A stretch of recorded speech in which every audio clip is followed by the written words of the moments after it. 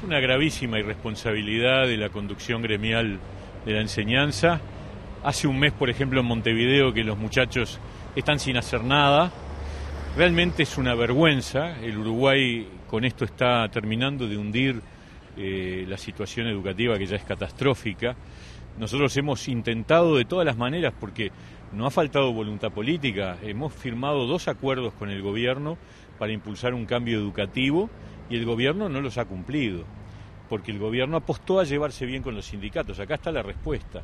El Uruguay aumentó significativamente su inversión en educación, los resultados son negativos y tenemos dirigentes sindicales que hablan de que esta huelga es una forma de aprendizaje. Una cosa, es una tomadura de pelo vergonzosa. La dirección sindical está llevando la educación a la catástrofe, pero yo no puedo creer que sea representativa de los docentes en general. Estoy seguro que la enorme mayoría de los docentes no debería estar de acuerdo con esto y yo creo que es tiempo de que se expresen.